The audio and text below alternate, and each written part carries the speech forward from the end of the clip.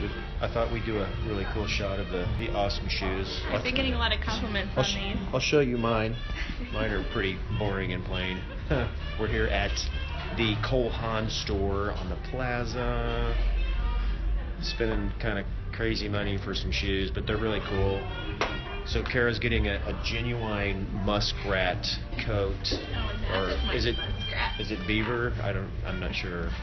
Mo- I think it's moose. It's llama. That's what it is. Llama and sheep, not muskrat. uh, so we're having a good time. Hey, hope everybody has a Merry Christmas. Be safe out there. Happy holidays.